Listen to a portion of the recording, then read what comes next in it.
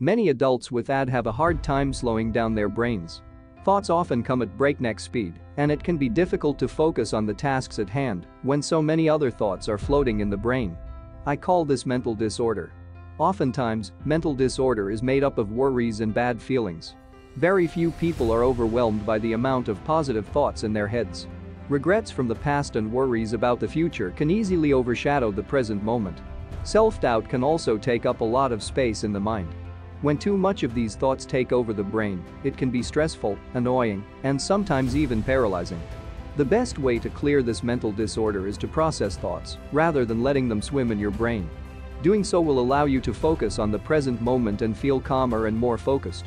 The following three methods have proven to be very helpful in clearing up mental disorder. 1. Write a great way to clear mental clutter is to transfer your brain's thoughts to paper. This can be in the form of a to-do list, an email to a support person in your life, or a journal entry.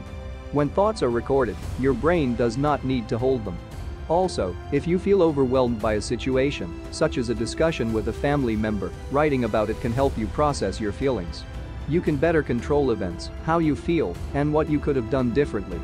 One or two pages may be all that is needed. 2. To speak many people with are verbal processors. This means that we often work through thoughts and feelings by speaking them. It is helpful to have an objective person to talk to who can reflect your thoughts and talk to you. However, the simple act of speaking is often what works, so you don't always need to have someone to talk to. Many people find that speaking on a tape recorder suits their needs.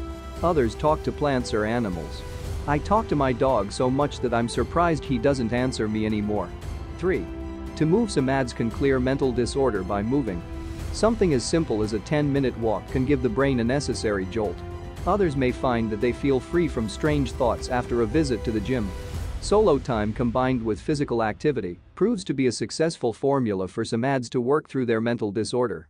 It is better to experiment with the different methods and see which one works best for you in the different areas of your life. The important thing is to know that with a little waiting time, you can eliminate mental disorder